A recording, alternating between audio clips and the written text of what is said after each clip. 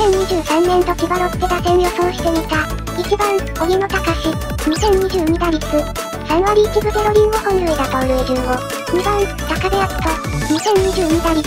2割7分4厘3本塁打44盗塁。2番、中村翔吾。2022打率。2割5分7厘12本塁打68打点。4番、安田久則。2022打率。2割6分3厘9本塁打。5番、グレゴリー・ポランコ。2022打率。2割4分0厘24本塁打巨人から移籍。6番、山口浩輝。7番、井上聖也。8番、茶谷健太。9番、松川幸。2022打率。1割7分3厘。コメントで理想の打線教えてね。